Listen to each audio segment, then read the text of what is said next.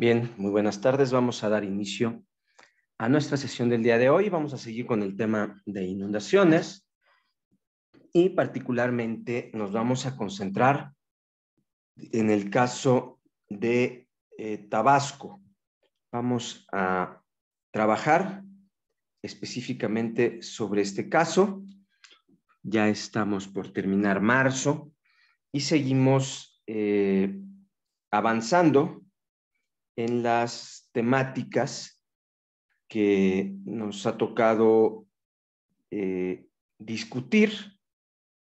Este material, evidentemente, es un material diseñado ex profeso para eh, las o los compañeros que no les toca por ser eh, paresonones, ya lo habíamos platicado, o eh, quienes por motivos laborales el día de hoy o de salud no pudieran eh, acudir a sesión presencial. Así es que eh, vamos a usar un caso muy interesante que es el caso de Tabasco, las inundaciones de Tabasco, para ilustrar algunos de los conceptos teóricos que hemos venido analizando y sobre todo porque nos va a servir también de referencia para otros aspectos. Entonces, lo primero que tendríamos que recordar es que el riesgo es un futuro, es un futuro negativo, es un futuro que debe de ser creíble a partir de los datos técnicos científicos que empleamos en su elaboración. Adicionalmente, eh, el riesgo lo construimos, y ya se ha dicho, intelectualmente. Entonces, el riesgo de desastre son daños, pérdidas, costos adicionales del futuro que pueden ocurrir como resultado de un peligro entendido como una capacidad destructiva de la naturaleza, de la actividad humana o de una mezcla de ambos, los peligros socionaturales, que afectan un área en particular con cierta intensidad y se repiten cada determinado tiempo, y afectan a un conjunto de bienes que están expuestos a esta capacidad destructiva, que están dentro de las áreas de afectación de la capacidad destructiva, y estos bienes tienen un valor para nosotros, y además de tener un valor para nosotros, eh, se puede expresar este valor en términos económicos, en términos estratégicos o incluso afectivos. Por otro lado, la vulnerabilidad son las características de estos bienes expuestos, cosas o personas, personas en su conjunto o, o personas en comunidad, que las hacen susceptibles al daño, que hacen que puedan sufrir mayores daños o mayores pérdidas cuando se confrontan ante el peligro hay procesos que amplifican permanentemente ya sea el peligro, la exposición o la vulnerabilidad. Y esta materia de peligros, pues se enfoca a, este componente del riesgo de desastre.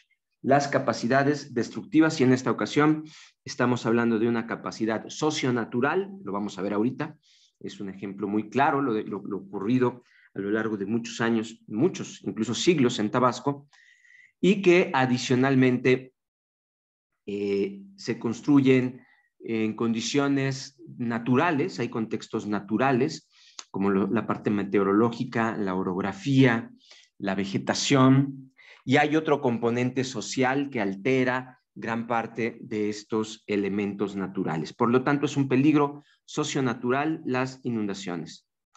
Entonces, recordando, el peligro es una capacidad destructiva de un fenómeno natural, humano o una combinación de ambos. Se clasifican en tres categorías, lo platicábamos ayer en, la clase presencial también. Eh, son los naturales, como los volcanes, los sismos, donde el ser humano no puede intervenir. Los antrópicos, como los químicos o, los, o las guerras o los socioorganizativos. Y están los socionaturales, donde hay una mezcla dijimos, de condiciones naturales que son alteradas por el ser humano y entonces eh, esto provoca una capacidad destructiva que tiene como principal componente la naturaleza y a la par la actividad de los seres humanos. La capacidad destructiva la podemos medir por su intensidad, con qué intensidad se manifiesta. En el caso de las inundaciones, eh, está la altura de la inundación, está también la velocidad de flujo, existen combinaciones como eh, la combinación entre la velocidad de flujo y el tirante, También el tiempo es algo muy importante. El tiempo eh, que permanece inundado en un lugar, pero también el tiempo eh, de concentración. ¿Cuánto tiempo tarda desde que cae la, la gotita de lluvia en llegar al sitio donde las condiciones hacen que ocurran inundaciones, ¿no? Entonces, el tiempo de concentración, el tiempo de permanencia de la inundación son aspectos muy importantes. Veamos este video que imagínense eh, que esto es un teatro y en el teatro hay muchas personas. De repente dan la voz de alerta y todos tratan de salir por el mismo lugar. Entonces vemos cómo eh, la cantidad de personas que tratan de salir es mayor que la capacidad eh, de la salida. Y esto que lo podemos imaginar en un teatro, en un auditorio, donde la gente está tratando de salir toda al mismo tiempo y vemos que se amontonan a la salida, es algo parecido a lo que ocurre también en las inundaciones. Traten ustedes de imaginar que en este caso no son personas, sino son gotitas de lluvia, son gotitas de agua que están tratando de salir. Algunas bajan muy rápido, aquí vimos que, todas reaccionaron muy rápido y se acumularon en la, en la salida. ¿Qué hubiera ocurrido si cada persona sale, en vez de sonar la alarma, la alerta, termina la función y las personas comienzan a salir poco a poco? Lo que hubiera ocurrido es que no hubiera ha habido alguna acumulación, esta conglomeración a la salida. Es decir, imaginen que termina la función, las personas se levantan lentamente, van avanzando y van saliendo poco a poco, una por una, y no hay necesidad de que se amontonen a la salida. Por lo tanto, quiero que pensemos como en dos grandes momentos, ¿no? El momento en el que todos se mueven hacia la puerta, aquí vemos que es lento, en este caso es un poquito lento, se van moviendo hacia la puerta poco a poco, pero la salida es muy pequeña. Entonces se acumulan el tiempo de acumulación, el tiempo de concentración es eh, poco y quedan encharcados, y quedan amontonados. Imagínense, repito, si son gotitas de lluvia, ¿no? Eh, y van saliendo poco a poco. Entonces, el tiempo de concentración es el tiempo que tardaron todos en apiñarse, en amontonarse a la salida. Ahorita vamos a ver un segundo ejemplo en donde el tiempo de concentración es menor, es decir, la gente corre más rápido y se amontonan también a la salida. Ahí miren, ahí es mucho más rápido, todos corren muy rápido y se amontonan todos más rápido a la salida, pero la salida es muy pequeña. Por lo tanto, eh, vemos que puede haber eh, tiempos de concentración distintos, eh, cantidades distintas incluso, y salidas. Entonces, tratemos de pensar este problema como en dos momentos. la inundación sería la acumulación anormal de gotitas de lluvia, de agua, en un sitio. Ese amontonamiento de, de agua, esa acumulación anormal de agua es lo que podríamos definir como una inundación. Ahora, la inundación depende, por un lado, de cuántas personas o cuántas gotitas de lluvia hay. Mientras más eh, llueve, por supuesto, eh, más se acumula. Pero por otro lado, también depende de qué tan rápido salen las gotitas o se acumulan. Repito que si eh, todo el mundo se quedara en su sitio, esperando tranquilamente a su turno para salir, es probable que se tardaran más tiempo en salir todos, pero no habría eh, amontonamiento. Aquí el problema es que se amontonan, ¿no? Eh, si pueden salir uno por uno lentamente, entonces no va a haber amontonamiento y ese es el problema de la inundación, una acumulación anormal. Ahora, hay una segunda parte del problema, que es la salida. ¿Qué ocurre si esta salida fuera más grande o si hubiera dos salidas? Entonces, eh, las posibilidades de que se acumulen las gotas de lluvia en la zona inundable se reducen. Por lo tanto, hay un problema en, en cuanto hablamos de inundación, hay un problema hidrológico, es decir, cuánta lluvia cae y cómo escurre, si escurre rápido y se amontona a la salida, o si escurre lentamente, o si una parte de esa lluvia se va al subsuelo y otra parte se evapora en las hojas de los árboles. Los árboles también pueden absorber a través de sus raíces parte de la humedad y por lo tanto eh, esta parte verde, este cuadro verde, tiene que ver con lo hidrológico. Por otro lado, la parte roja tiene que ver con lo hidráulico. ¿Cuál es la capacidad de desalojo? ¿Cuál es la capacidad de salida? Mientras más grande es la salida, evidentemente menos posibilidades hay de que se amontonen a la salida las gotas de, lluvia, el agua. Por lo tanto, hay dos problemas. Uno que es qué cantidad escurre y, qué tan rápido se amontona a la salida. Y la otra es qué capacidad hay de sacar esa agua de este sitio inundable, que es la salida. La salida depende del número de canales, del área de los canales o de los tubos para sacar el agua, de la pendiente, mientras más inclinada, más capacidad tiene, y también de la fricción que hay con las paredes, de la rugosidad. Mientras más rugosa es la salida, eh, las gotitas de agua que van pegadas a las paredes se frenan más y se disminuye la capacidad. No es lo mismo extraer agua de un canal lleno de piedras, alrededor, o sea, toda la orilla llena de piedras, que de un canal pulido, de, cemento pulido, de concreto pulido, donde el agua desliza con mucho mayor facilidad y no se detiene. Esto lo veremos posteriormente en algunos aspectos de por qué revestimos a veces los canales, cuando veamos acciones de mitigación para reducir el peligro. Entonces, veamos eh, tomado de Alberto Pinto, eh, hay algunas definiciones donde nos dice que la inundación es una anegación o acumulación de agua temporal de tierra causada por agua que fluye afuera de sus confines normales, ¿no? Em, entonces, aquí tenemos una anegación de unas tierras, que no es normal que se inunden esas tierras, por agua que se sale de sus cauces normales.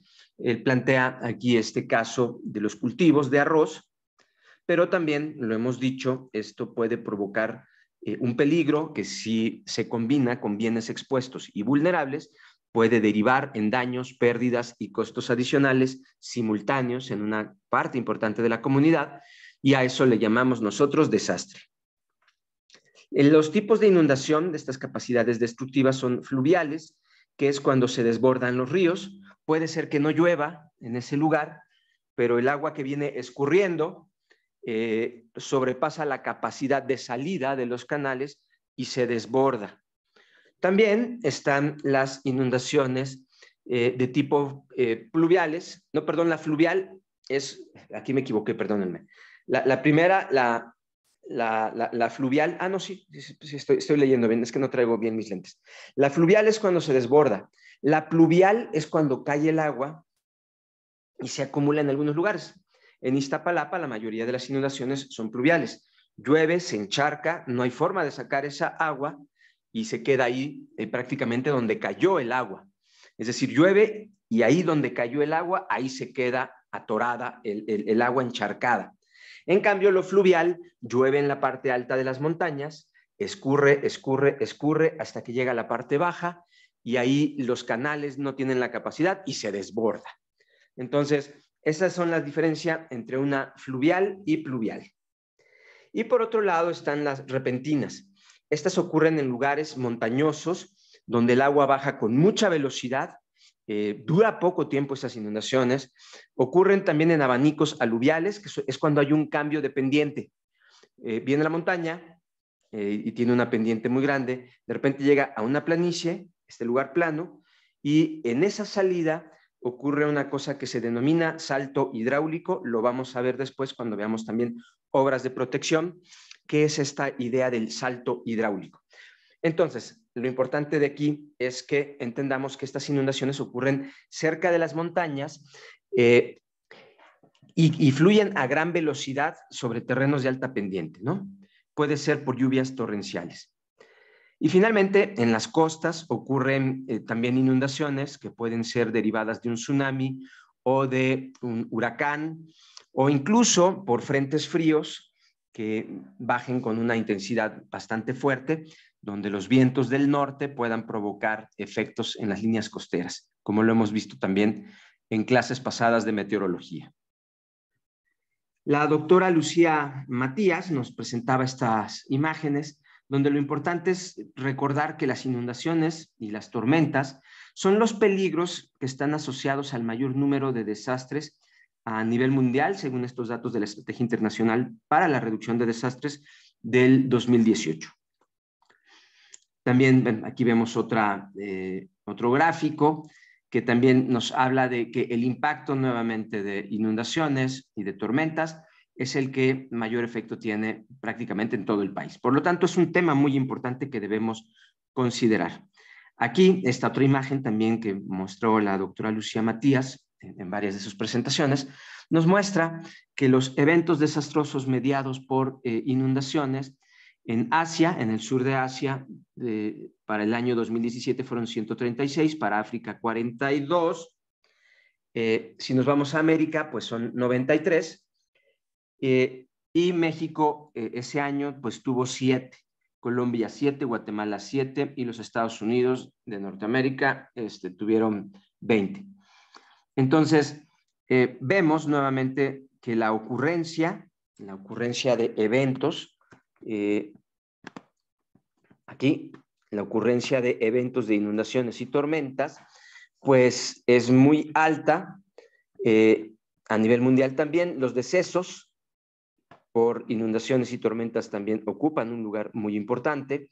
El número de personas afectadas y las pérdidas económicas. Vemos que cuando vemos esto en términos, el impacto en términos de dinero, lo que más nos cuesta a nivel mundial son prácticamente tormentas e inundaciones, ¿no? Estos fenómenos que en México hemos eh, decidido nombrar como hidrometeorológicos, ¿no? También el maestro Alberto Pinto nos mostraba eh, como esta idea en donde lo primero que ocurre es un evento meteorológico, este es el origen, eh, que provoca que se deposite agua sobre una cuenca, ¿no? Entonces, este origen pues es incontrolable, es decir, podemos hacer poco para que llueva o no llueva. Y después nos habla de todo lo que es el medio. El medio, ahorita en el gráfico que nosotros hicimos, se podría eh, componer, déjenme cambio de color, imaginen que este es el medio. Entonces, el medio en donde ocurre eh, se compone de todo lo que ocurre en la parte alta de la cuenca, eh, la deforestación, la construcción de presas eh, y también lo que ocurre a la salida, ¿no? Es decir, qué tanta agua se acumula, eh, qué tanta agua escurre, qué tanta agua, o sea, qué tanta agua se acumula, la acumulación de qué va a depender, es decir, la acumulación aquí va a depender de cuánta agua escurre, Mientras más agua escurre, pues más se va a acumular. También de la velocidad con la que se concentra, es decir, qué tanto tiempo tarda en llegar aquí y se concentra. Y va a depender, por supuesto, de la salida.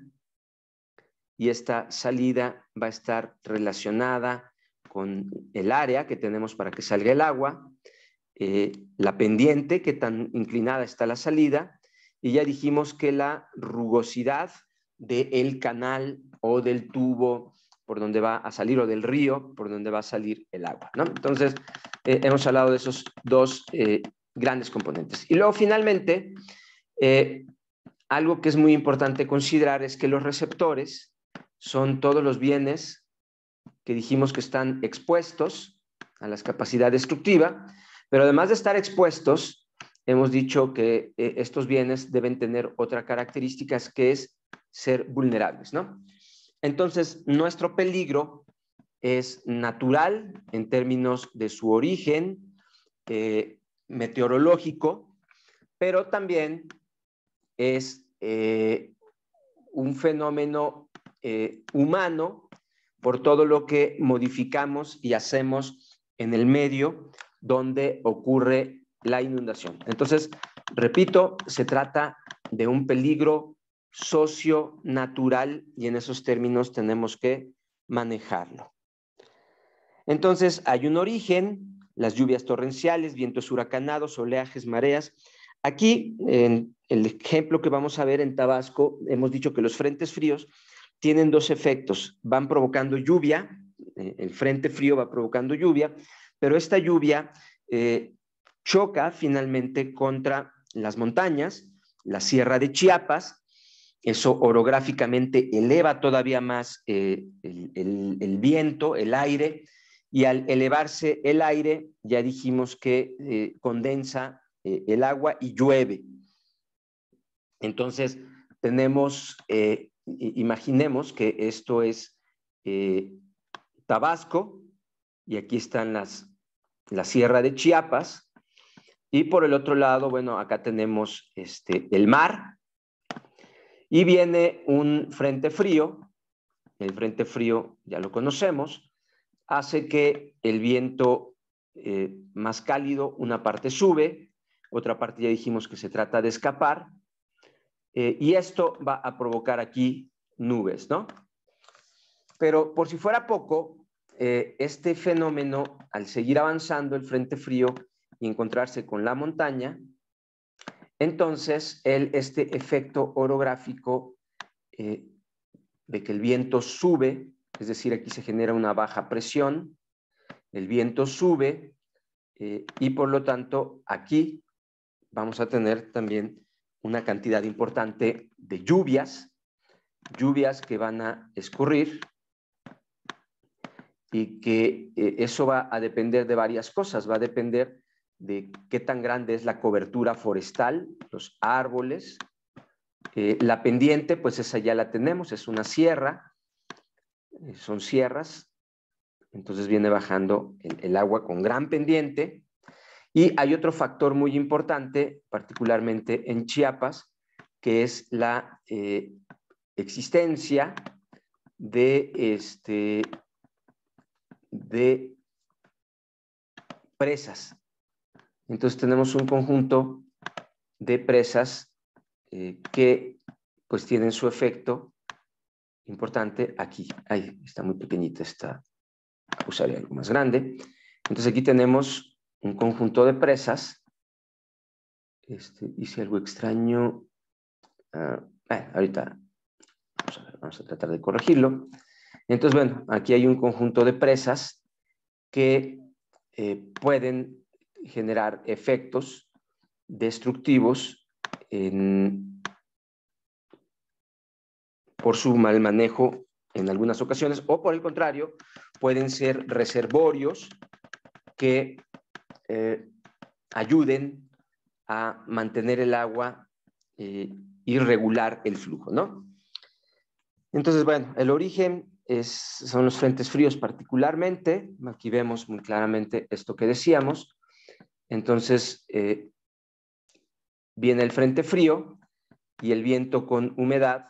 Aquí una parte es elevada, choca contra el frente frío, choca contra las sierras también. Otra parte ya dijimos que va a huir eh, por acá hasta que encuentre eh, algo que lo detenga y puede generar aquí estos vórtices. Pero, ¿qué va a suceder entonces aquí? me regreso a a este punto donde el viento se está elevando y está siendo acompañado además por la, eh, por la misma sierra, pues aquí vamos a tener lluvia, ¿no? Lluvia importante y esa lluvia eh, va a caer sobre la sierra y va a bajar hacia Tabasco, ¿no? Hacia la planicie tabasqueña. Entonces, hay un componente natural que está relacionado pues con la forma en la que eh, se comporta la atmósfera en esta región y que provoca lluvias. Entonces, si nosotros observamos este, este gráfico de la Comisión Nacional para la Biodiversidad, son las zonas que tanto llueve eh, en esta región de Chiapas y Tabasco. Y podemos ver varias cosas, ¿no? Si nosotros vamos hacia arriba, hacia la sierra, pues podríamos encontrar zonas donde eh, la cantidad de lluvia anualizada llega a ser tan grande como este, miren ustedes, observen aquí, 2.000 milímetros de lluvia al año.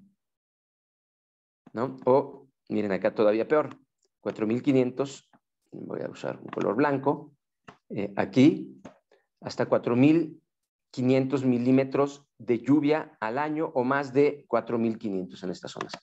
¿Por qué ahí? Bueno, pues es la zona, de acuerdo a lo que hemos venido platicando, pues es la zona donde eh, los frentes fríos pues van a bajar aquí y al bajar se van a encontrar con la sierra y evidentemente pueden tener un efecto eh, orográfico importante. Entonces, eh, déjenme les dibujo por aquí. A ver. Ok.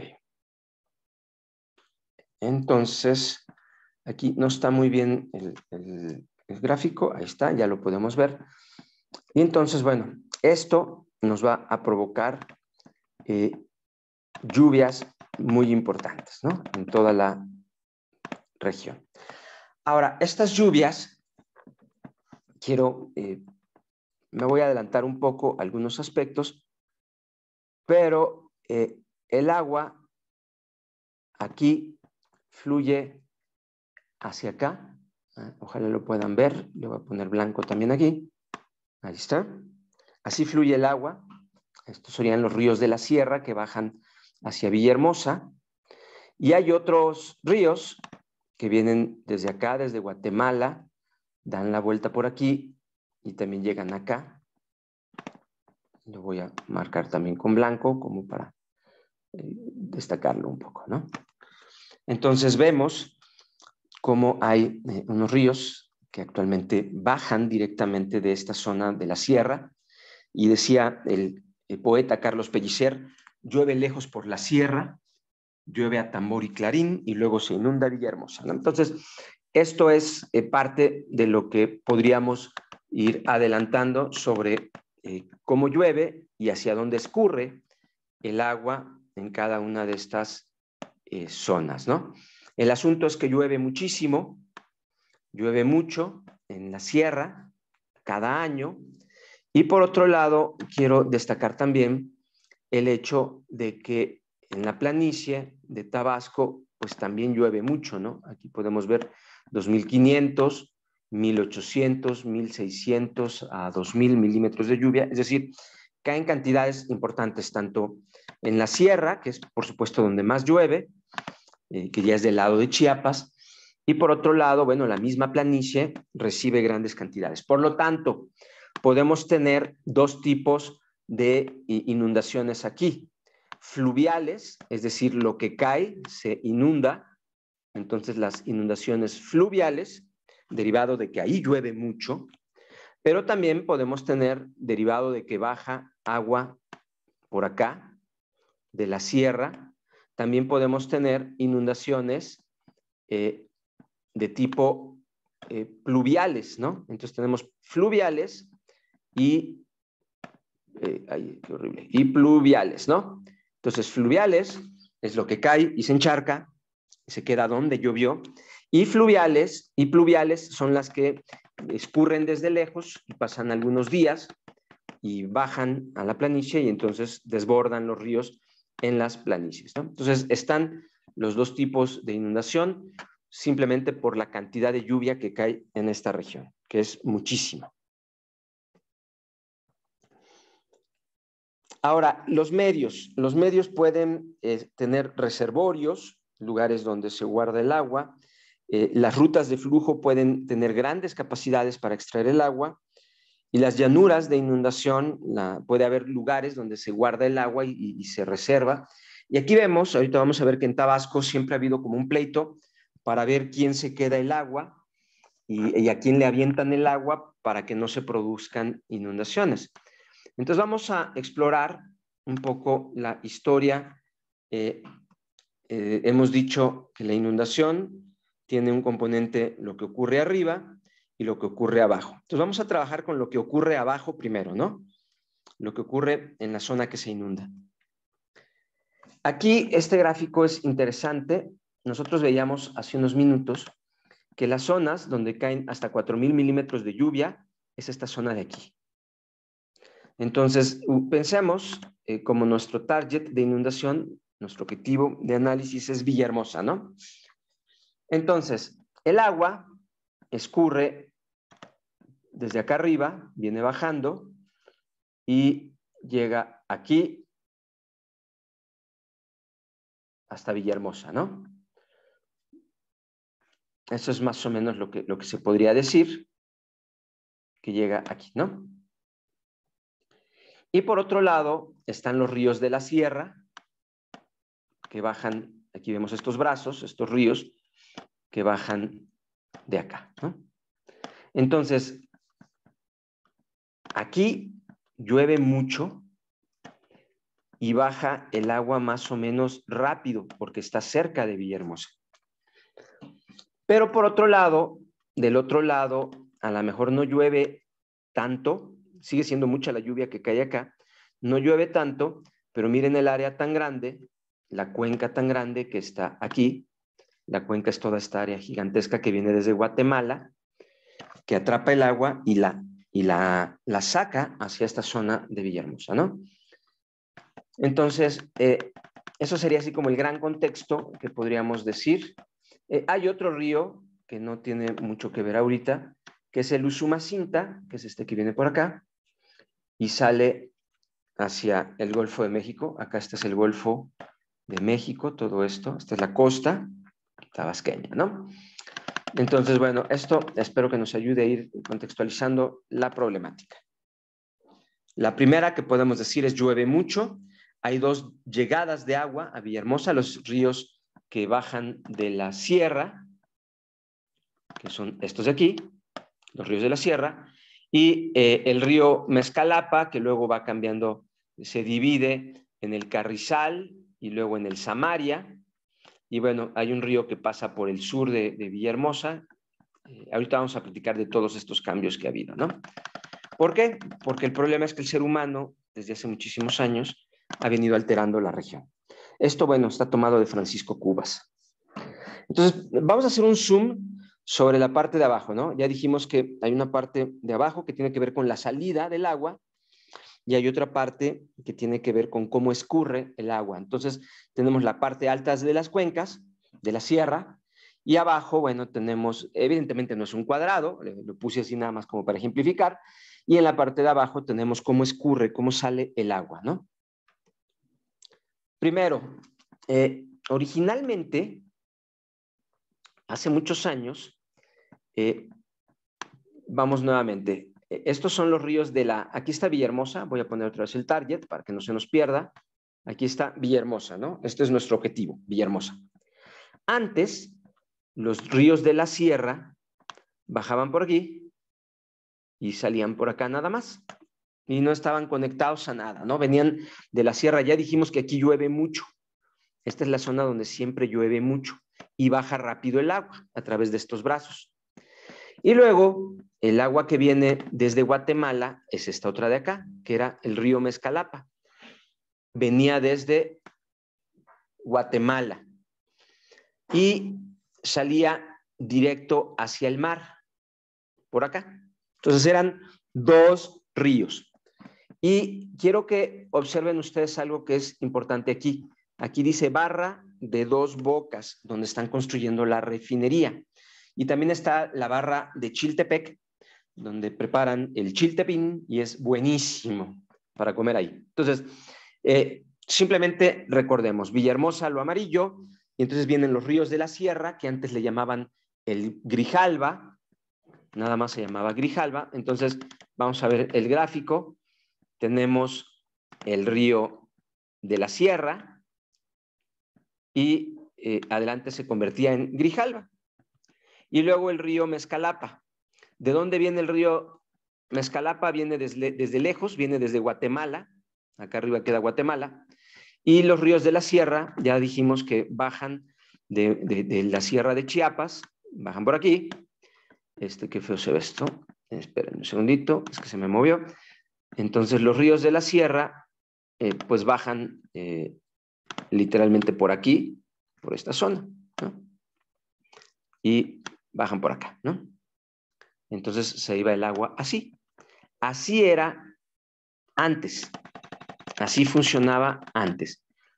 Pero en 1675, 1675, no ayer, no hace poquito, en 1675 decidieron romper aquí y desviar el río para acá. Y juntar, nuevamente veamos nuestro objetivo, aquí está Villahermosa, y pasar por el sur de Villahermosa, eh, este río Mezcalapa, que actualmente ya le llaman Río Viejo. Entonces, ¿qué pasó con el río, eh, el original Mezcalapa? Eh, al taparlo, pues se volvió un río seco. Entonces, observen la diferencia, ¿no? O sea, de río Mezcalapa a río seco y eh, aquí en medio, evidentemente, no había nada, esto no había nada y construyeron un canal que desvió el agua hacia Villahermosa.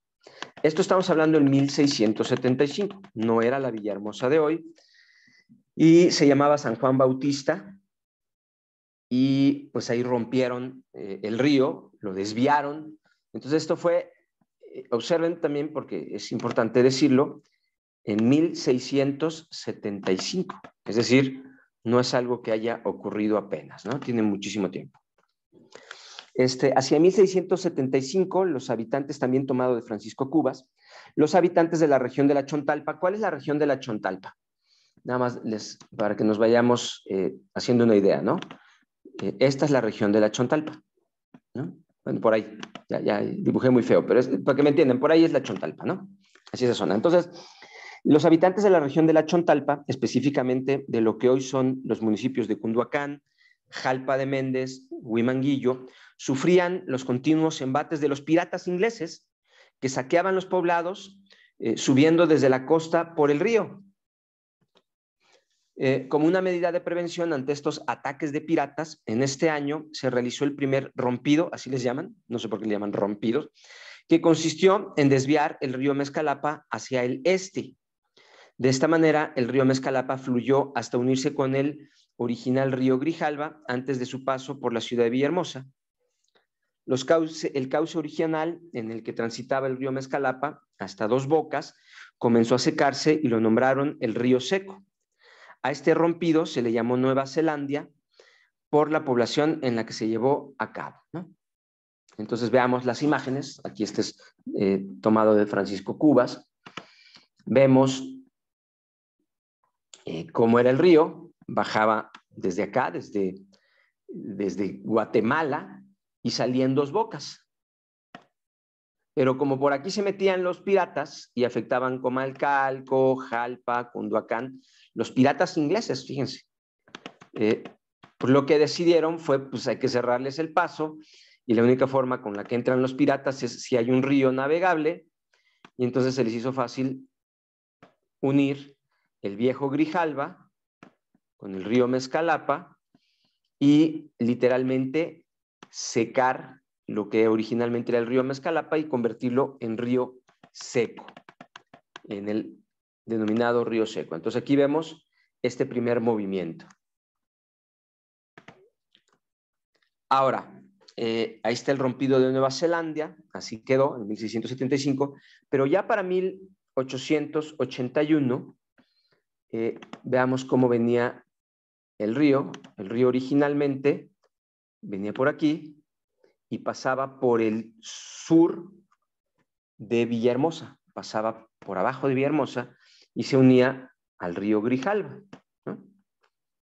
Sin embargo, ya para entonces había muchas inundaciones y tomaron la decisión de romper el río aquí y crear el río Carrizal que pasa por el norte de Villahermosa, se va por acá y salía a la barra de Chiltepec pues volvía a unir sus aguas cerca de Dos Bocas. ¿Esto para qué se hizo en 1881? Para evitar que esta zona se inundara. Pero al hacer esto, evidentemente se empezaron a inundar zonas por acá. Es decir, se empezó a inundar esta región. Entonces, el segundo gran cambio, el segundo desvío o rompido, como le llaman allá, eh, ocurrió en 1881. Entonces, en 1881 las inundaciones ya eran un problema para Villahermosa y se hizo otro rompido para eh, corregir el primero. Entonces, en el sitio conocido como Manga Clavo, se desvió el Mezcalapa para que ya no se uniera con el Grijalba antes de Villahermosa, es decir, al sur de Villahermosa, y se dio origen al río Carrizal, que desembocaba en la barra de Chiltepec en el municipio de Paraíso.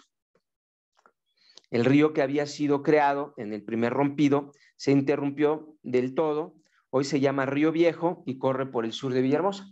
Entonces, eh, nuevamente desaparece un río, aquí está, este es el río el río Viejo, que pasa por el sur de Villahermosa, y eh, se crea un nuevo río, el río Carrizal, que pasa por el norte de Villahermosa, y este es el río Carrizal. Entonces vemos cómo desviaban y creaban ríos y, modificaban. Recuerden que Tabasco, la planicie tabasqueña, es totalmente plana y está eh, a 9, 10 metros del nivel del mar. Por lo tanto, cualquier cambio, si se para una mosca, eh, el río fluye para otro lado, ¿no? Entonces aquí rompían los ríos y los desviaban para otro lado. Entonces aquí vemos eh, nuevamente el rompido manga de clavo, que lo que provocó, decíamos nosotros, es que ahora se inundaba acá. También provocó que el río Mezcalapa, que pasaba por el sur de Villahermosa, se volviera río viejo y, ahora es un drenaje. Y bueno, eh, el problema es que hacia Natcajuca, toda esta región, se empezó a generar eh, inundaciones importantes, toda esta parte de aquí comenzó a inundarse también. Entonces, como verán, todo el tiempo se estaban aventando el agua de un lado a otro y cada vez lo hacían más complejo el asunto, ¿no? El rompido manga de clavo, pues ya vimos, 1881, y a la derecha el rompido de la pigua. Ese es pequeñito, realmente es pequeño, y eh, decíamos nosotros, ¿qué fue lo que ocurrió como efecto del manga de clavo? Pues que toda esta zona de aquí se empezó a inundar. Entonces a alguien se le hizo fácil para evitar que esa zona se inundara, este, unir este con este aquí, el río Carrizal, que iba por el norte, eh, unirlo otra vez al río Grijalva después de Villahermosa, para que pues el agua bajara por aquí, este, y al bajar por aquí, pues la zona que originalmente que, se había inundado cuando se hizo manga de clavo, este, pues no se inundara. Y entonces, bueno, pues aquí vemos eh, el cambio, no es muy grande, no se nota tan bien, pero aquí se unió este con este, y con eso, pues, eh, estas zonas que se inundaban, pues comenzaron a inundarse un poco menos, ¿no? Entonces, bueno, eh, vemos que cada vez complican más el asunto. Lo que eran dos ríos lineales, pues ahora ya se está convirtiendo en una red de ríos que están conectados unos con otros en un lugar plano. Ahora, en 1904 se llevó a cabo el tercer rompido, este de la Pigua. Eh, este de aquí, el que decíamos, ¿no? De aquí, eh, este es el de la Pigua. Este de aquí. Que unieron este con este, ¿no? Entonces, eh, el rompido de la Pigua, vamos a ver un poco la historia de este rompido de la Pigua. Dice, se llevó a cabo el tercer rompido por medio del cual, por medio de un dren, al parecer para sacar el agua de unos terrenos particulares y el río Carrizal se unió con el Grijalba después de su paso por Villahermosa y en la actualidad puede verse la curva, prácticamente 180 grados, que sufre el río a la altura de la colonia industrial. A este rompido se le llamó la Pigua. Entonces, miren, eh, déjenme ver cómo era el carrizal. El carrizal era esto. Aquí venía el carrizal, le pongo blanco para que lo puedan ver todos bien. Aquí venía el carrizal. Pero ya dijimos que esto inundaba la parte de acá arriba. Y como inundaba esa parte, pues decidieron eh, hacer esta curva de aquí, le rompieron aquí, hicieron esta curva, que da la vuelta por acá, y se une al río eh, Grijalva. Eh, este río viene de la sierra, ¿no? Entonces, eh, estos son, este es el río de la sierra que viene bajando acá. Entonces me regreso tantito para que le avanzo porque además lo tenemos nuevamente. Aquí está otra vez. Entonces ya decíamos que el manga de clavo comenzó a inundar esta región. Por lo tanto, pues se les ocurrió que sería una linda idea unir este de acá. Acuérdense que estos son los ríos que bajan de la sierra. Son los ríos de la sierra donde llueve anualmente hasta, dijimos aquí, 4.500 metros, milímetros, perdón, de lluvia anuales. Entonces baja el agua rápido y lo que hicieron aquí, bueno, pues eh, para que no se inundara la parte de arriba, pues unieron el carrizal, lo unieron con el grijalba a través de esta curva, que ya vimos la imagen eh, en, el, Google, ¿no? Entonces, pues aquí está eh, lo que le llamaron el, el rompido de la pigua, que tuvo como propósito evitar que acá se inundara. Y entonces, ¿qué pasó? Pues que este otra vez el, río que venía aquí, pues empezó a secarse. Entonces, miren, ya aquí tengo un río seco. Acá tengo otro río que ya también se secó. Y aquí no aparece, pero acá está el río seco también. Eh, acá, así. Ahí están. Entonces, esos ríos, pues de repente lo que era ya no es, porque los están, eh, le rompen un lado para desviar el agua para otro lado, ¿no? Entonces, aún habiendo desviado el carrizal, las inundaciones en Villahermosa seguían siendo un problema. La ciudad que había sido fundada a la orilla del Gran Río ahora estaba rodeada por dos ríos. Es decir, originalmente aquí, déjenme regreso, aquí eh, Villahermosa solamente tenía un río, ¿no? Y después, pues Villahermosa ya tenía dos ríos río al sur eh, este y río al noroeste.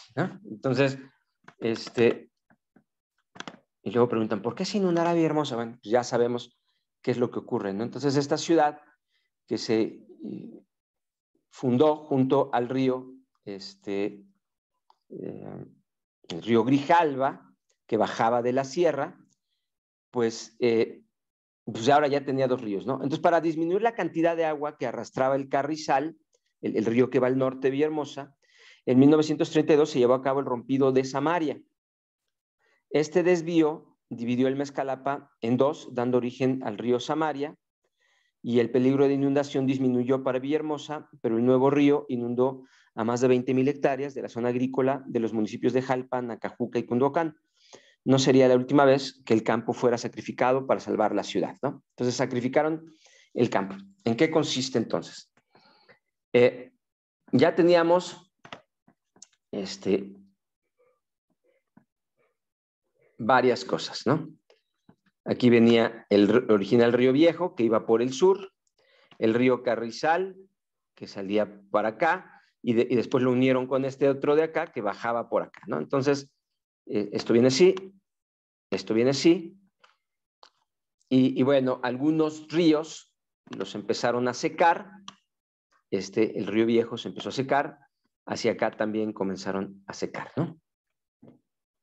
Y por lo tanto, eh, aún con todo este relajo, Villahermosa se seguía inundando y ahora se inundaba pues, prácticamente por el carrizal, ¿no? Aquí es donde se inundaba. Entonces se les ocurrió romper acá, es decir, romper aquí. ¿Y qué fue lo que ocurrió? Pues que el agua se fue para acá, lo que le llaman el rompido de cañas, que se forma este río y que salía para acá. Y formaban ahí eh, diferentes eh, brazos, ¿no? Esto dicen que ocurrió en 1940, pero hay otra versión que nos habla, y esa se les voy a mostrar aquí, nos habíamos quedado en la unión de, este, aquí la curva para unirse a los ríos de la sierra, que bajaban de, Teapa y de Tacotalpa. Entonces estos ríos aquí se unen, pero aún así, eh, con todo y todo, eh, Villahermosa se seguía inundando. Entonces, ¿qué hicieron para que no se inundara? Pues rompieron acá. Y al romper ahí, lo que provocaron es que eh, se fue el agua hacia esta zona de aquí, que ya vemos, ¿no? Jalpa, Nacajuca, Cunduacán se comenzaron a inundar. Pero esto nos hablan de que fue en 1932, no en 1940, ¿no? Y aquí, bueno, se formaron algunos ríos, como ya vimos en la anterior. Ahora, en 1940, a través de este rompido del Cañas, eh, el agua fluye eh, de la Chontalpa hacia el río Medellín, que se unió al Grijalba. Entonces, se, decíamos que se crea, fíjense lo que hacen aquí. Como rompieron acá, este río empieza a agarrar más fuerza. De todas maneras, el carrizal pasa al norte y el río de la Sierra pasa por acá. El carrizal aquí se une y otra parte, bueno, decíamos que salía por acá, por acá al este, ¿no? Entonces, y por acá tiene esta salida todavía. Entonces, ¿qué fue lo que hicieron? Pues poner un río más al norte. Eh, recordemos, teníamos Villahermosa, entonces primero le pasan un río al sur que se volvió el río Viejo, luego le pasan un río al norte que fue el Carrizal, que lo unen por acá, para sacarlo, y después eh, crearon este nuevo río que está aquí y que va a ser muy importante para lo que vamos a platicar más adelante. Entonces, el rompido de cañas crea, como dijimos acá atrás, eh, el Samaria. Entonces, bueno, aquí tenemos el rompido de cañas y luego se crea el rompido de veladero. ¿Por qué se crea el rompido de veladero? Pues porque este río que va a dos bocas comenzaba a tener eh, más eh, fuerza, comenzaba a, erosionar y entonces decidieron romper acá para mantenerlo hacia este lado. Entonces veamos qué llega a Villahermosa hoy en día. Este es el carrizal, que pasa por el norte y luego se une por acá, ¿no? El río de la Sierra, que era el original, eh, el río Viejo, que todavía está ahí, aunque fluye poca agua. ¿Y qué salida queda para que no llegue más agua a Villahermosa? Porque con todo y todo se sigue inundando. Pues aquí queda el río Samaria para sacar agua.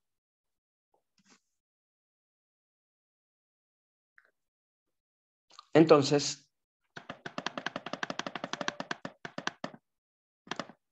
¿qué ocurre posteriormente?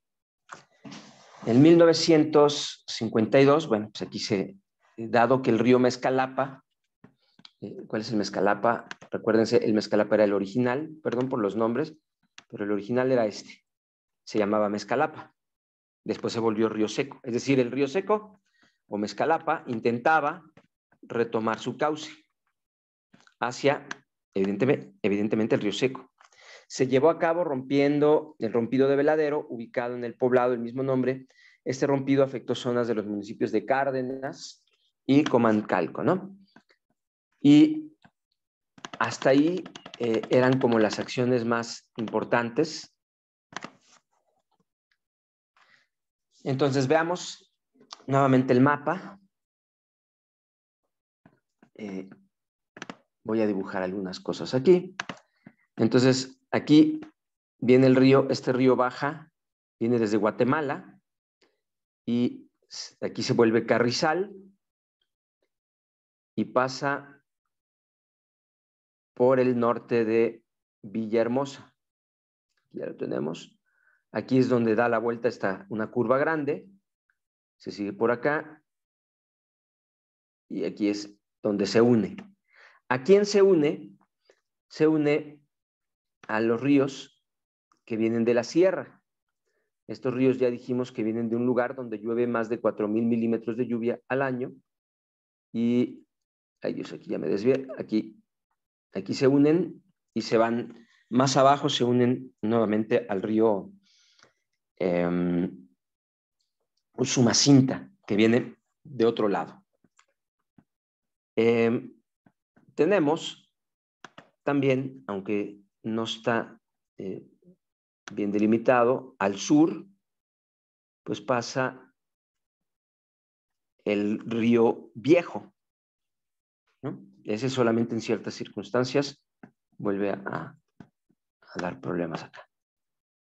Y por otro lado, con el último rompido, aquí venía el río Samaria, que sale por allá. Por lo tanto, eh, y aún así se inundaba Villahermosa. ¿Qué quedaba hacer entonces? Eh, podrías construir más ríos o lo que sea, o colocar aquí una barrera para que el agua ya no pase para acá y desviar el agua por este camino. A esa barrera se le denominó la compuerta del Macayo. Esa compuerta del Macayo bloquea el paso del agua hacia Villahermosa y la desvía pues hacia eh, el norte de Villahermosa para que no pase por Villahermosa, ¿no? ¿Y qué ocurre con esto? Pues ya dijimos que si cierras, si cierras el río Carrizal, pues esta zona, más abajo todavía, va a terminar inundándose. Entonces, bueno, este es más o menos el esquema de cómo ha venido cambiando todo y esta es la compuerta del Macayo. Entonces, eh, la compuerta del Macayo, en esta dirección está Villahermosa,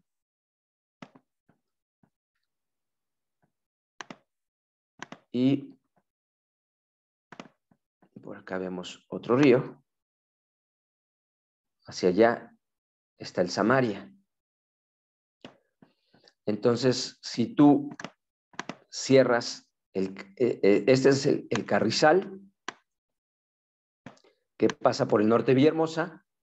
Este es el Samaria, que se aleja mucho de Villahermosa, se va más al norte. Entonces, si se cierra aquí, pues ya el agua no va a pasar hacia Villahermosa a través del Carrizal, sino que la vamos a mandar a la región Chontalpa eh, a través del río Samaria. Entonces, bueno, esta compuerta se construyó a lo largo de muchos años en este plan. Lo inauguró en 2013 todavía el presidente Peña Nieto, él no la comenzó, es decir, este era un proyecto que venía de mucho tiempo atrás. Realmente eh, el que le metió dinero a esta compuerta fue el presidente Calderón todavía, después de las inundaciones del 2007, se tomó la decisión de que había que trabajar en esta compuerta y tardó bastante tiempo y quien la inaugura es el presidente Peña Nieto. Y bueno, eh, en la última inundación, el presidente López Obrador eh, sale en un helicóptero y anuncia que se están tomando decisiones importantes. Entonces aquí está el río, aquí vean, estoy dibujando, este río es el Samaria, que sale hacia esta región de Jalpa, Nacajuca, la Chontalpa, y no se ve muy claro, pero eh, acá está el carrizal que pasa por aquí y, y, luego se une a los ríos de la sierra que vienen de acá y sale por acá, ¿no?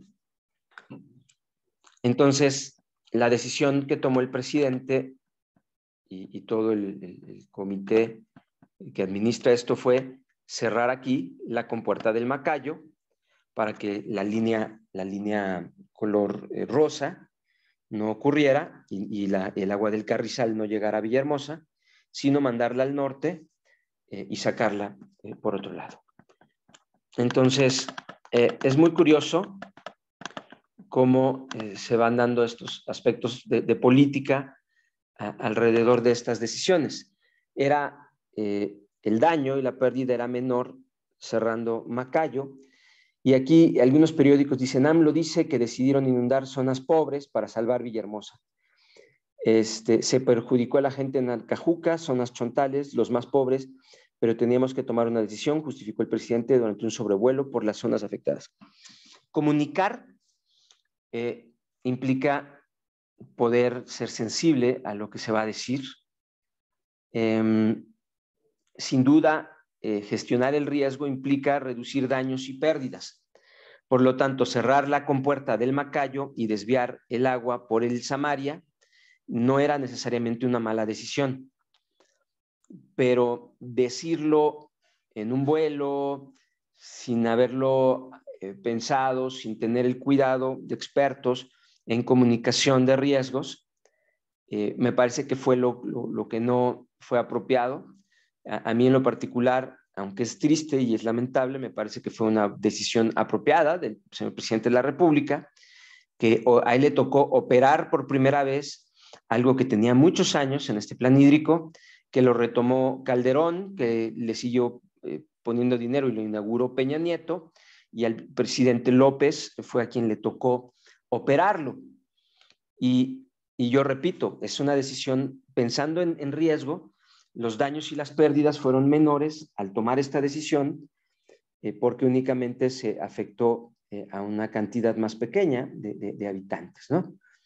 Entonces, eso eh, me parece que es una buena decisión, pero repito, y, no dejo de repetirlo, chicos, chicas, porque esto se tuvo que haber comunicado desde antes, desde mucho tiempo antes. y la otra es que las personas afectadas aquí eh, se vieron afectadas para que estos de acá no sufrieran daño. Entonces, estos que son más, eh, en una buena política bien pensada, pues en esencia estos tendrían que estar eh, apoyando a los que sí están siendo afectados, ¿no? Es decir, yo no recibo el daño y yo nada más recibo el beneficio. Entonces aquí hay siempre una relación eh, de costo, de, riesgo y de beneficio. ¿Quién se vio beneficiado? Toda la zona metropolitana de Villahermosa. ¿Quién se vio perjudicado? La Chontalpa. No sería justo, ético, correcto que la zona metropolitana de Villahermosa tuviera un plan donde a cambio de no inundarme, eh, apoyo, asumo parte del daño y la pérdida y transfiero ese beneficio lo comparto con los que se vieron afectados, ¿no? A partir de ayudas, ¿no? Y bueno, eh, algo interesante es que, bueno, los medios de comunicación, cuando la noticia está mal dada, mal planteada, eh, pues eh, le dan ese sesgo difícil porque evidentemente los chontales se vieron muy afectados y esto deberían tener un seguro, un seguro bien pensado, y un apoyo donde hubiera gratitud por parte de la zona metropolitana de Villahermosa hacia la región Chontal. Pero bueno, este, el, comunicar incorrectamente estas decisiones puede provocar efectos perjudiciales. Ahora, regresamos a nuestro modelito. Eh, ya dijimos que hay una zona inundada, que hay cosas que ocurren arriba y hay cosas que ocurren abajo. Entonces ya vimos cómo desde el 1600 se estaba modificando la planicie tabasqueña. La zona roja se fue modificando. Eh, en vez de dejar los dos ríos por los piratas, evidentemente comenzó todo este relajo y siguió creciendo y todo el mundo se está aventando el agua de un lado a otro. Pero hoy en día, eh, Dos Bocas queda a la salida de lo que era el antiguo río, por lo tanto, recuperar el, río seco pues sería prácticamente eh, imposible porque tenemos infraestructura y vamos a tener más infraestructura eh, petrolera de hidrocarburos en esa región. ¿no? Entonces, regresando a la imagen, nada más para que tengamos claro, de qué se trató este, este rollo. Aquí es la sierra y aquí llueve 4.000 metros cúbicos por segundo, ¿no? Dijimos nosotros, 4.500. Aquí baja el río de la sierra, que era el original, eh, pero hay otros ríos que vienen desde Guatemala, vienen por acá, llegan aquí, aquí está la compuerta del Macayo, ese puntito rojo es la compuerta del Macayo. Si cierro la compuerta, pues mando todo por el río eh, Samaria y me inundo esta región, ¿no? El río original, decíamos nosotros, el, río Mezcalapa en realidad salía eh, por acá, hacia esta región, hacia dos bocas, pero eh, pues en 1600, para que los piratas no atacaran esta región, desviaron el río, ¿no? Eh, algo que quiero que empecemos a analizar ahora es eh, bueno, recordar que ya vimos la parte de acá abajo, todos los rompidos y los ríos que se inventaron. Pero ahora, ¿qué tal que vemos un poco hacia arriba?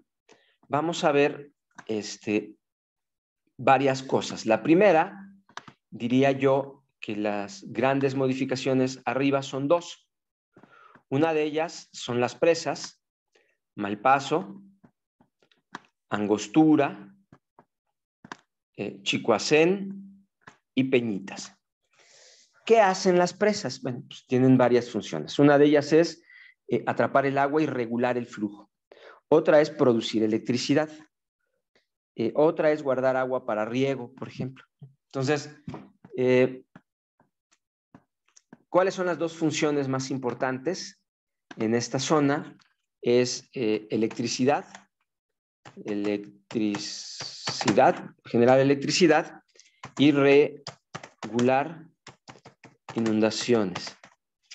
Ahora, aquí hay un problema, hay una contradicción. Para cumplir la primera función, para generar electricidad, necesitas almacenar, este, para cumplir la primera, necesitas almacenar agua. Es decir, necesito tener las presas vacías, llenas, para estar produciendo electricidad. Pero para cumplir la segunda función, necesito eh, tener presas vacías. Es decir, para que tenga una función reguladora, la presa, necesito tener la presa vacía para que eh, cuando llegue la tormenta la atrapo ahí y luego la suelto poco a poco. Pero eso contrasta con la primera función. Entonces, si se dan cuenta, son contradictorias crear electricidad requiere que tengas mucha agua almacenada y evitar inundaciones necesitas que tengas las presas vacías para que esas presas vacías puedan eh, atrapar agua y regular eh, y generar esta función de amortiguamiento, eh, de aplanar la curva, ¿no? Entonces, pues vemos eh, presas ¿no? que se crearon en esta zona. Eh, Francisco Cubas también nos dice eh, que, bueno, todavía faltaba una intervención gigantesca porque en 1951 se crea la Comisión del Grijalba, organismo autónomo del gobierno federal destinado a llevar el desarrollo y la modernización al sureste mexicano. ¿no? Había que hacerlos modernos. En el decreto de 1951 con el que el presidente Miguel Alemán, que es el de la foto, creó la Comisión del Grijalba, se mencionaba que los excedentes de agua provocaban inundaciones y enfermedades que impedían el desarrollo de la cuenca del río Grijalba, lo cual pues de algún modo era cierto, no había inundaciones frecuentes. Se suponía que la comisión haría lo necesario para controlar inundaciones, favorecer la agricultura mediante el riego y sacando y secando zonas pantanosas y facilitar la navegación este, y aquí lo dicen así como de última. Este, observen esto que dice aquí. Este, generar electricidad. Entonces, su función eh, en el, cuando se crea el decreto era eh, evitar inundaciones o controlar los flujos y generar electricidad. Finalmente terminó siendo la generación de electricidad lo más importante, más que evitar inundaciones. En 1955 se inició en el Río Grande de Chiapas, la construcción de la presa de raudales de Malpaso, este, puesta en operación en 1969. Ahí está la foto, la enorme presa raudales, Malpaso. Después continuó con la presa de la Angostura, que, en 1900, que fue terminada en 1974. Chicoacén, que terminó en 1980. Y la última, que es muy mencionada, fue la presa Peñitas, que es la última, la que está ya a la salida Tabasco. Entonces la presa Peñitas este, tiene, quiero que observen un detalle nada más, este, ¿qué volumen le, le cabe? 1091. Olvídense del numerote, millones de metros cúbicos, ¿no? 1091 decimos aquí, ¿no? Si nos vamos más para atrás, a Chicoacén le caben 1600. Si nos vamos para atrás, a Angostura le caben 12,000, es decir, 12 veces lo que le cabe a Peñitas, que son 1000. Y, por supuesto, eh, Malpaso le caben 10,000. Entonces, Malpaso y Angostura son entre 12 y 10 veces más grandes que la última, que es Peñitas, que es una presa chiquitita, que da a la salida y que también produce electricidad, ¿no? Desde Comisión Federal de Electricidad. Algo interesante, eh, que también es de Francisco Cubas, o aparece en su publicación, eh, eso que ven ahí son los años en los que ha habido inundaciones.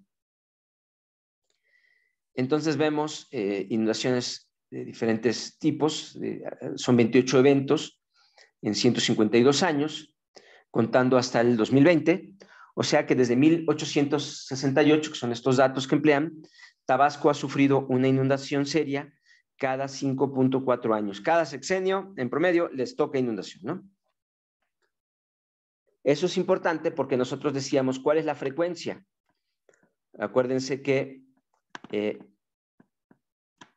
para comprender el peligro necesitamos el área de afectación, necesitamos eh, la intensidad y también el, la frecuencia, ¿no? Entonces vamos avanzando un poquito más. También llama la atención algo, según eh, Cubas, ¿no? Desde Roberto Madrazo en 1999, todos los gobernadores de Tabasco le han echado la culpa a las presas por las inundaciones. Entonces dicen, es que manejan mal las presas, ¿no? Sin embargo, eh, la primera presa, la de Malpaso, se terminó en 1969, como se dijo. Entonces, después de 51 años que han pasado desde entonces, han ocurrido siete grandes inundaciones, eh, sin contar lo que pudiera pasar en esa temporada donde salió el artículo, ¿no? Es decir, una cada 7.2 años. Acá las teníamos cada 5.4 y acá cada 7.2 después de las presas. Es decir, eh, no es cierto que las presas sean las que están provocando las inundaciones. Todos los errores, todos los rompidos, todos los cambios que hicieron eh, provocaron de algún modo eh, mucho de las inundaciones, ¿no? Y las presas han tenido una función reguladora, no tan eficaz, pero sí se ve que desde que se construyeron las presas, la separación entre las inundaciones se incrementó a 7.2 eh, años, eh, eh, una inundación importante. Es decir, desde antes de que existieran las presas, Tabasco se inundaba regularmente y no solo eso, sino que se inundaba con más frecuencia, ¿no? Dijimos 5.4 contra 7.2 años, ¿no? Después de las presas. Entonces, el problema mm, de, las presas tal vez no sea el, gran problema como se dice políticamente, ¿no? Aquí tenemos un modelo de si la presa, también eso sí es un verdadero problema. Si la presa de Peñitas, eh, les voy a dibujar dónde queda la presa de Peñitas, eh, aquí está la presa de Peñitas, esto es la presa de Peñitas, es la última, ¿no? Si la presa de Peñitas liberara 1500 metros cúbicos por segundo, el agua inundaría esta región. Esas modelaciones las tiene eh, Comisión Nacional de Electricidad y con agua. Y bajaría el agua por aquí, eh, entraría por el norte de Villahermosa a través del Carrizal y saldría por acá. También tomaría parte eh, de el Samaria inundaría también acá. Pero lo interesante aquí es que como dicen que el agua tiene memoria, eh, el río se seguiría de frente como originalmente estaba. Tal vez tendría aquí algunos otros brazos, pero saldría de frente como originalmente estuvo. Es decir, lo que es el río seco, que fue el Samaria original, eh, eh, el Mezcalapa, perdón, original, este, pues se iría por ese mismo lado, ¿no? Y la naturaleza, pues no se equivoca, si tuvieran que abrir la presa de esa manera y se rompiera acá y fuera descontrolable, el modelito que estamos viendo, pues esta parte se inundaría menos eh, que esta de acá, que era la que originalmente llevaba el agua del río eh, Mezcalapa, desde Chiapas, ¿no? Este río ya dijimos de dónde viene, pues viene de acá arriba, ¿no? Viene de acá de, Chiapas y luego llega hasta Guatemala. Em, ¿Cuál es la zona donde hemos dicho que llueven hasta 4.000 metros cúbicos? Es esta parte de aquí. Aquí llueven, perdón, está mal. Aquí, toda esta zona llueven más de 4.500 metros cúbicos anuales y baja por acá, por los ríos de la sierra, baja el agua acá y se va por acá, ¿no? Y sale por acá. Eh, eh, está mi dibujo muy mal hecho, pero la realidad es más o menos ese, es el esquema que tendríamos, ¿no? Por lo tanto, eh, Peñitas, si tuvieran que liberar agua, este, afectaría más la zona de su antiguo cauce, ¿no? Otro aspecto muy importante es la deforestación en la parte alta de la cuenca, ¿no? Y aquí esta nota me llamó la atención, es una nota del 2019, donde dice que los campesinos optarían eh, por la deforestación para acceder a programas sociales. Y uno dice, bueno, ¿cuál es el, programa social, no? Y la nota dice que con la implementación del programa federal Sembrando Vida, Sembrando Vida, acuérdense que son árboles frutales. Entonces, Sembrando Vida implica eh, sembrar árboles frutales se corre el riesgo de que se genere una tala incontrolada de algunas regiones de Chiapas. Alertó pues un cuate ahí de la sociedad civil, ¿no? Entonces, eh, señaló que tiene conocimiento y le han reportado que muchos campesinos o comuneros no tienen 2.5 hectáreas libres para ser incluidas en el programa. Es decir, el programa, las reglas de operación de Sembrando Vida, eh, entiendo yo, le piden a cada campesino para poder recibir dinero, tener 2.5 hectáreas libres. Por lo tanto, si no las tienen libres, pues van a talar. Esto es muy importante porque las causas de fondo, hemos dicho, tienen que ver a veces con las políticas, ¿no? Una política que implica reforestar con árboles eh, frutales, eh, se puede volver una política de deforestación, ¿no? Ahora, esta imagen de CONAFOR este, nos muestra varias cosas, ¿no? Hay áreas en gris que ya no tienen bosques, están prácticamente deforestadas. Eh, y hay un área entre 1985 y 2014, que es la que se ve ahí en tonos amarillos, son las áreas que se deforestaron en ese periodo. Y en verde pues queda lo que, lo que son bosques, ¿no? Entonces hay una capacidad enorme de reforestación en Chiapas, pero mientras no se revierta esta situación y haya políticas que lo incentiven, pues la reforestación en la parte alta va a ser eh, poco posible, ¿no? Ahora, eh, ¿a quién le pertenecen los terrenos? Vemos que en esta cuenca, voy a, voy a dibujar nada más para que no se, no se nos olvide cómo está el esquema. Entonces, eh, aquí baja el río que llega este, a Peñitas y sale hacia la planicie, y por acá están los ríos de la sierra también, ¿no? Y nuevamente usamos de referencia dónde llueve muchísimo, pues llueve mucho en esta zona de aquí, ¿no? Aquí es donde llueve mucho y baja el, agua, ¿no? Entonces, eh, me parece importante ver el uso, que es un uso privado. Entonces, el uso privado puede incentivar eh, la urbanización, la construcción de esos terrenos que ya no son ejidales y propiciar eh, que se pida recurso a través de fondos eh, que, cuidando las reglas de operación, esos, esos programas llegan a ser muy útiles, ¿no? Pero sí hay que tener cuidado en las externalidades negativas que pueden provocar deforestación en vez de eh, recuperar las áreas, ¿no?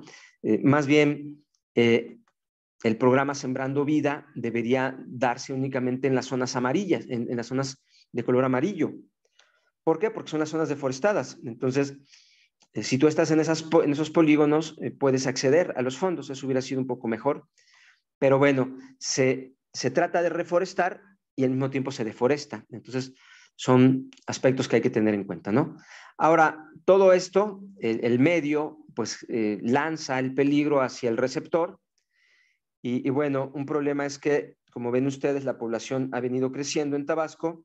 En 1900 tenías 200.000 habitantes y en 2015 tenías 2.300.000 habitantes, de acuerdo a datos de INEGI, ¿no? Y finalmente, bueno, las consecuencias. En eso no me voy a detener mucho. Son daños, pérdidas y costos adicionales que ocurren eh, por todo este fenómeno. Y con eso terminaríamos eh, la sesión del día de hoy.